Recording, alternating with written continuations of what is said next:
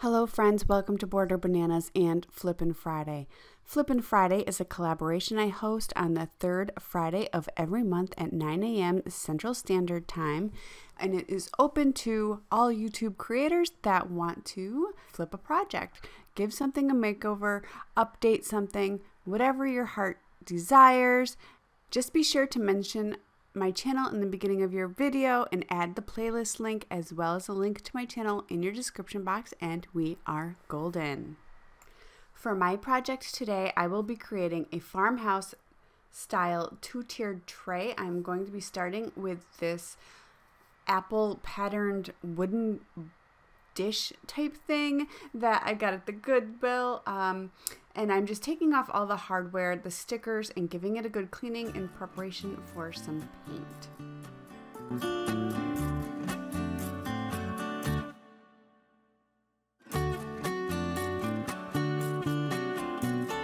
And then I'm going to be repeating the process for this wooden Lazy Susan.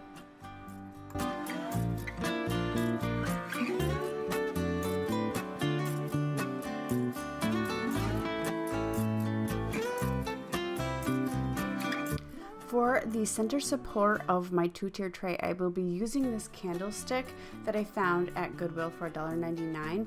It is really cool in that it comes apart and um, it kind of just screws together. And on the outside of the candlestick, which was part of the candlestick, is four napkin rings. And I thought that was really neat and it made for a cool piece because I can use the napkin rings as feet on my tier tray and use the candlestick as the center support. I took both of my wood pieces out and spray painted them with matte black spray paint and as I did I realized that I forgot to fill the holes for in the top piece, the, this piece you're looking at here, where the rope used to be. So I also spray painted some paper brads, the kind of, you know, those little gold metal things that you stick through the holes in paper to keep, to make it into like a little notebook when you were a little kid and in school. And um, I spray painted those as well.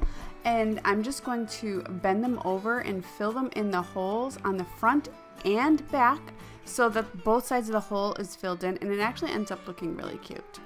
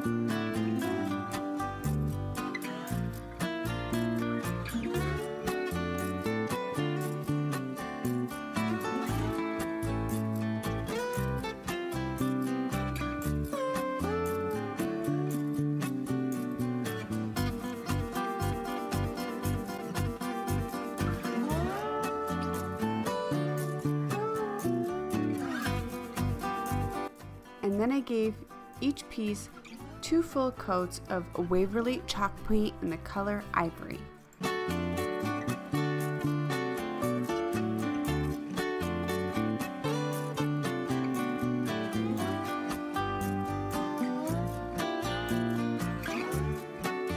And then I lightly distressed both of the painted pieces with this little tiny sandpaper type thing. It's actually a fingernail file. One side is 120 grit, the other side is 180 grit. It's perfect for these types, types of projects.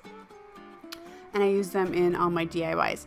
Uh, I do have them linked in my Amazon store if you're interested, um, and I'll, I'll see if I can get another link and put it down in the description box for you. They are really, really handy. The most tedious part of this whole project was finding the center of the big round disc.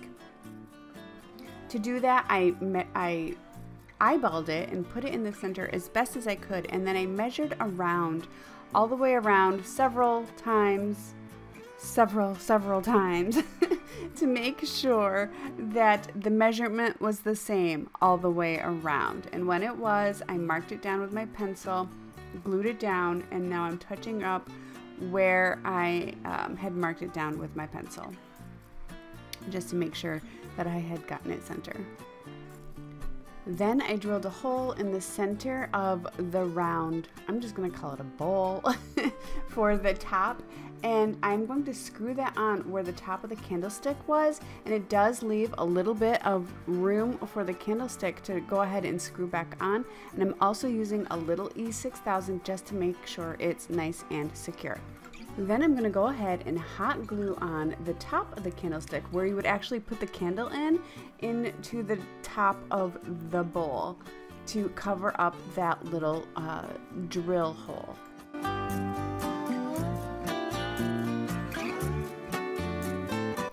Then I screwed a curtain rod finial into a piece of cork from a wine bottle into the hole from the corkscrew and I cut the cork down to pretty short so that it would fit inside the candle holder to make a you know faux handle for the tiered tray.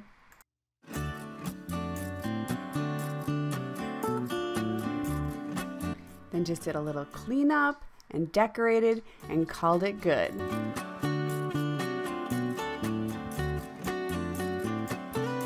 The link for the playlist is in the description box. It's the little downward pointing arrow, or it'll say show more. Uh, click on that, and the description box will open, and you'll see the link for the playlist right there. If you click on that, all of the videos that are participating in this collaboration will be there for you, and you can binge watch them one after another. Thank you guys so much for watching. I hope you enjoyed this video. If you do, please give it a thumbs up and consider subscribing. Leave me a comment down below. Bye guys!